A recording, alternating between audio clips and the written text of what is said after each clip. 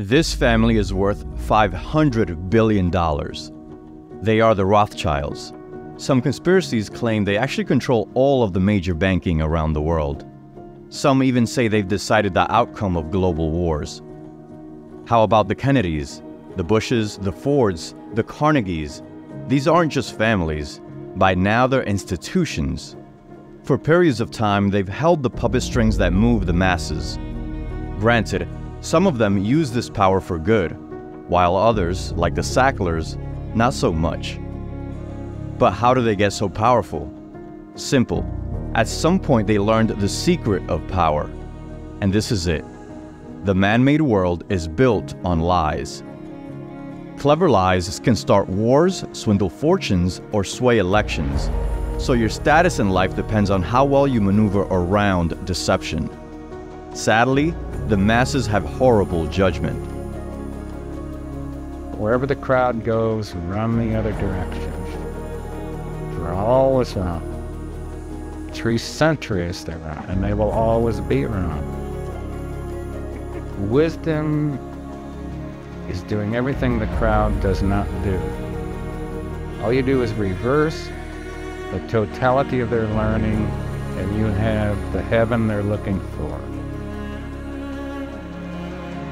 So even just avoiding the crowd gives you more status and wealth, because those in power keep the masses distracted.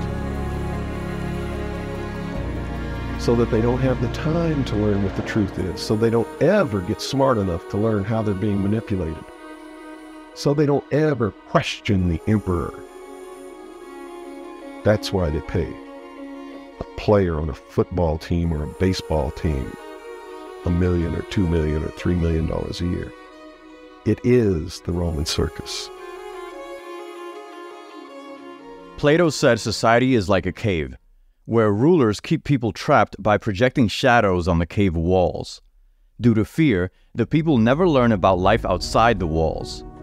The world outside the cave is a life of true wealth, health, and freedom. It's what you've been craving all your life without realizing it. It's the path to your best self. But he says there's a way out of the cave if you can learn to ignore the shadows. This is where you come in. You, like me, are in that metaphorical cave, and until now, you didn't know it. You've been following society's blueprint. You have a job and do everything your boss says. You are nice, hoping others will respond in kind. You eat how TV suggests. But the results aren't matching the effort why? I'll tell you why. You're following someone else's compass instead of your own. So your efforts are actually taking you farther away from success. And that's the problem. You're doing too much, and you're doing the wrong things. You're falling for the shadows on the wall. You see, the masses make decisions based on what they see and hear, so they're easily fooled by the shadows. But the rich hone their ability to feel their way through tough terrain thus avoiding traps. The rich have a rich instinct. You and I level up by resparking this instinct, and the first spark is courage. Courage to push past our fears and into a special form of action, because we can only gain what we're willing to lose. You want money?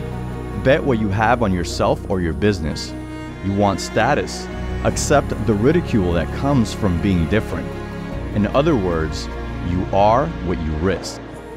The rich and powerful get to be rich and powerful because of their philosophy, their mental operating system, if you will. It's an intense realism that lets them take in the world around them as it really is, without the distractions and vices that block most from reality. This starts a domino effect. One good step clears the way for a better follow up step, and so the gains multiply. But you won't get there playing it safe. The modern world pushes us to crave safety. It domesticates us. But it's a paradox, because this craving for safety kills our natural instinct. And this instinct is the only thing that can lead us to money, freedom, and status. Ultimately, life must be risky, because no one is making it out alive. Only by risking the safety of the cave can we gain the riches waiting outside of it. Rich Instinct is a book about how to gain wealth and power in this deceitful world. Get it on Amazon, Audible, Apple Books, Google Play, and all other major platforms.